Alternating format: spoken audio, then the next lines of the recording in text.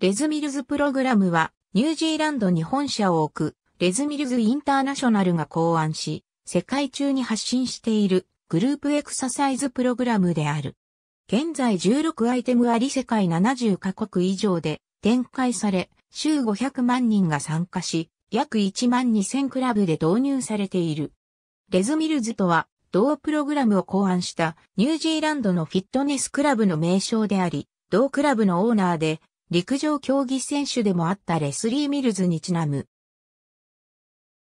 ミルズは1952年以来、夏季オリンピックやコモンウェルスゲームにおいて、約20年間にわたりニュージーランド代表選手として活躍した。コモンウェルスゲームスでは、金メダル1個を含む合計5個のメダルを獲得している。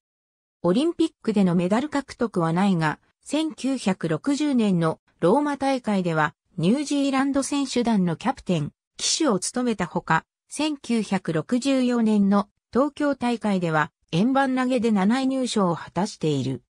選手引退後はコーチ業のほか、1974年から76年にかけてパプアニューギニア政府のスポーツディレクターを務めたこともある。また1990年から1998年にかけてオークランド市長も務めた。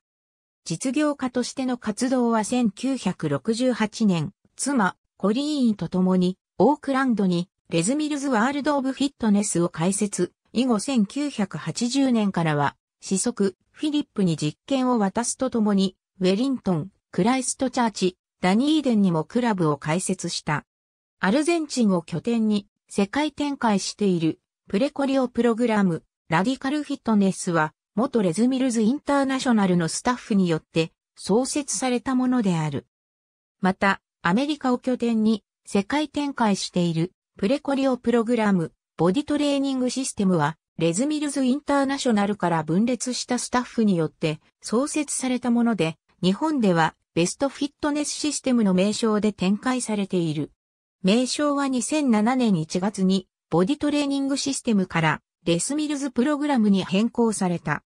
これに合わせて日本でもブランド名がボディトレーニングシステムズジャパンからレスミルズジャパンに変更されている。レズミルズプログラムのロゴマークは2007年第3四半期にアーチを模したものが採用された。2008年秋からは日本でもこのロゴマークが採用されている。2010年にはアーチ部分のみを削除したものに変更された。日本では1998年、スポーツクラブ、エグザスを運営していたピープルにより導入された。当初は、ボディパンプジャパンを名乗り、ボディパンプを実施していた。ジェクサージョイフィットコナミスポーツクラブなどにも、プログラム単位で販売されている。一方で、メガロスや東急スポーツオアシスなど導入したものの、撤退したクラブもある。また近年は、コナミスポーツクラブへの集中展開を行っていたこともあり、他社で新規導入するクラブが減少している。民間のスポーツクラブ以外に自治体が運営し、コナミスポーツライフが指定管理者になっている公共の体育施設でも実施されている。日本では約500のスポーツクラブで採用され、約34万人の愛好者がいるとしている。2016年8月31日をもって、レズミルズインターナショナル社は株式会社、コナミスポーツクラブとのレズミルズ日本国内総代理店契約を終了した。レズミルズプログラムは、インストラクターのオリジナルプログラムではなく、あらかじめ音楽と動作が決められたプレコリオプログラムである。各アイテムのコリオや音楽は3ヶ月ごとに、レズミルズインターナショナルよりリリースされる。エアロビクスインストラクターの他に、医師や理学療法士や運動生理学者などのコリオグラファーが担当し、運動理論にかなったものになっている。こうして、プログラムは定期的にリニューアルされ、世界共通の品質基準を維持している。レズミルズインストラクターは、リリースごとにワークショップに参加し、レパートリーを増やしていく。プログラムをパッケージ化、マニュアル化することによって様々なメリットがある。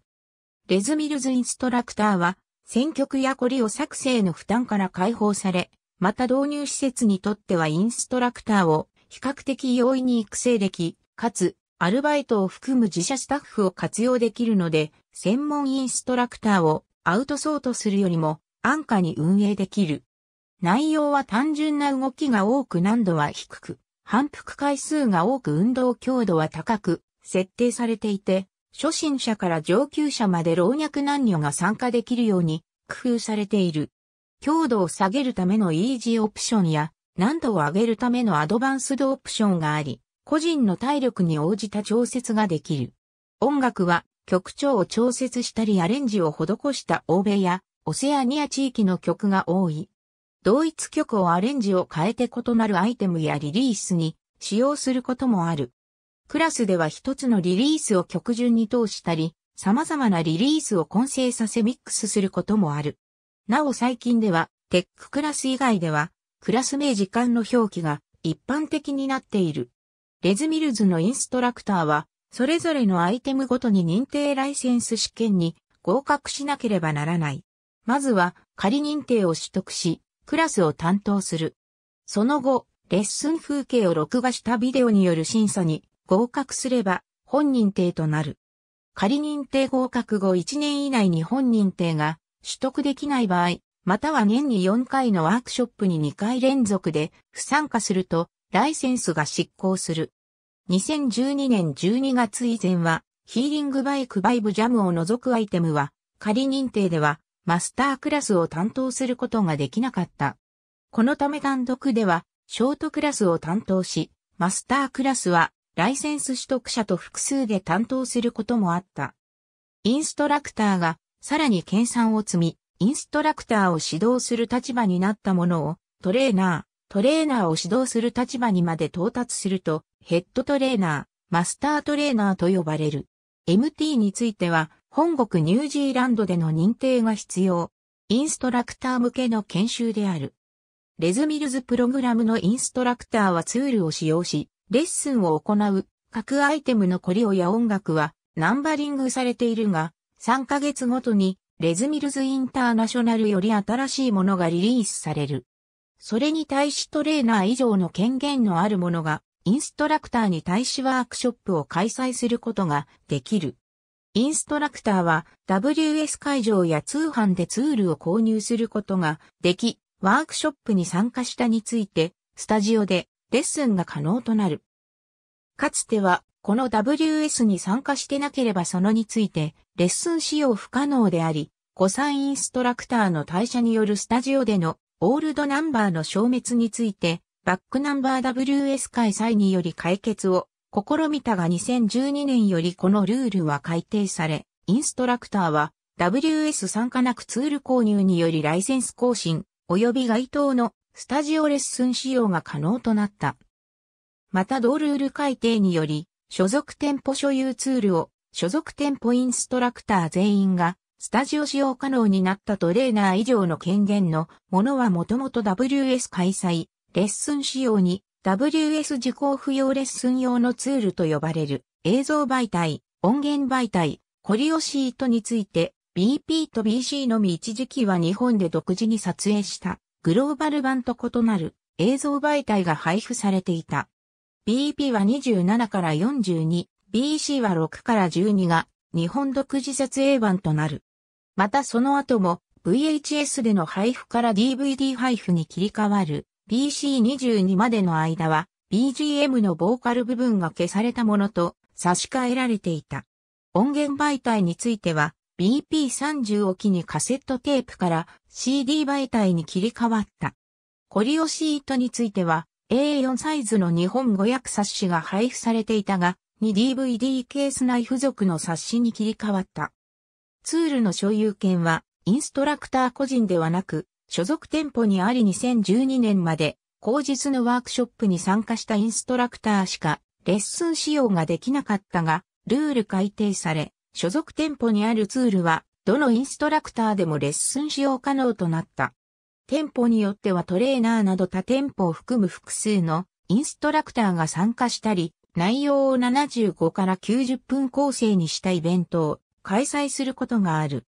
通常クラスとは異なり内容は様々で予約や追加料金が必要なものが多く、開催店舗所属会員しか参加できないものなど、参加資格が必要な場合もある。T シャツやタオルなど、オリジナルグッズの参加者特典があったり販売が行われることもある。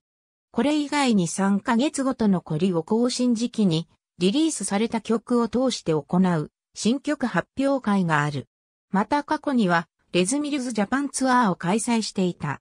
レズミルズインターナショナルのスタッフやディレクターが来日し、レッスンを行った。また所属や会員に関係なく16歳以上なら誰でも参加できた。2000年に始まり2002年までは年1回、2003年は年4回、2004年以降は5月と11月の開催で2011年まで毎年行われていた。地区合同イベント。ありがとうございます。